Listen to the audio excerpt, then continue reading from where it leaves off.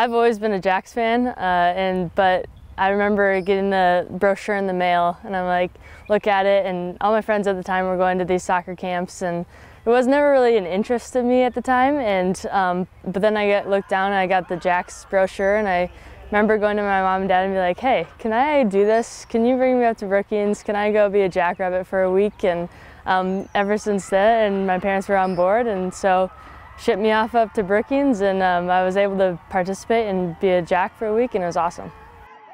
So our future Jacks is end of July, uh, July 23rd through the 25th, and basically how that's set up is the younger ones will have one opportunity or one session in a day. Uh, they will come in the evenings, and they actually will be coached by the SDSU soccer girls, which kind of provides a little bit better environment. These girls get to, you know, enjoy the time with the little guys, and the little guys get to say, "Hey, I got a, I was trained by a SDSU soccer player."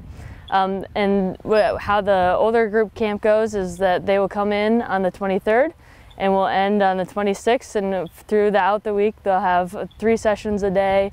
We'll get them going, we'll do some skill sessions, some tactical training, technical training, um, but also trying to incorporate some of those fun activities within the camp. And our SDSU soccer girls will be around there as well and so it's just kind of a nice opportunity to be challenged by other coaches, not only the ones on the SDSU soccer staff, but some of our really good coaches throughout the community. It's been a whirlwind for sure. I've enjoyed every every step, every challenge that is presented. Uh, I've loved, you know, seeing more of the back side of, and it's just it's a lot more than just coming out and playing, you know. And I've enjoyed every moment and mentoring opportunity that I've been given. Um, but at the same time, it's crazy to think that hey, I was, you know, just this little kid coming out here, you know, as a major Jack fan growing up and you know given the opportunity to play found you know some success throughout that. And now you know being able to hopefully provide some of those opportunities for current and future players um, throughout the years to come.